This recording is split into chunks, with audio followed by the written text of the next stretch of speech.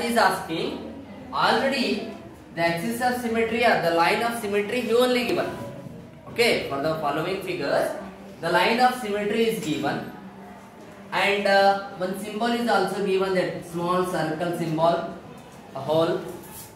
Then we need to identify if it is the line of symmetry where this symbol exactly will lie exactly will lie okay if this folded like this means where it falls opposite here no No.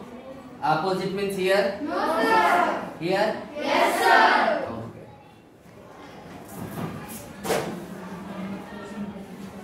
now if this is a line of symmetry in the second figure if i fold like this if i fold like this along with the uh, axis of symmetry or the line of symmetry where this will comes Yes, sir.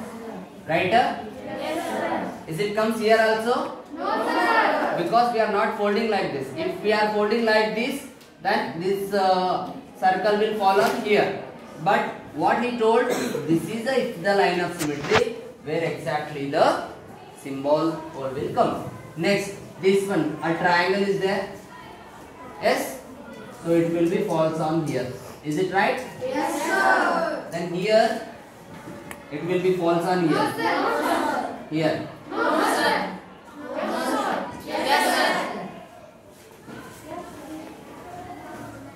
where this both are exactly falling on each other?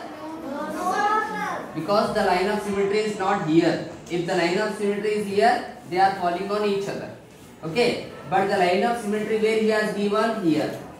So if the this is a line of symmetry it will be falls on its opposite side on that line and this will falls on its opposite side on this line. Is it right? Yes, sir. do yourself.